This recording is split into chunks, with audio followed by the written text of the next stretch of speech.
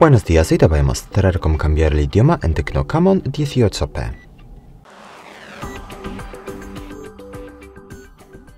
Para empezar abrimos la aplicación Configuración y luego más abajo buscamos la pestaña Sistema, en este caso es la última de aquí, y pulsamos aquí arriba la primera opción Idiomas y entrada de texto y pulsamos, bueno, también la primera opción Idiomas y luego pulsamos aquí más abajo Otros idiomas y elegimos por ejemplo Inglés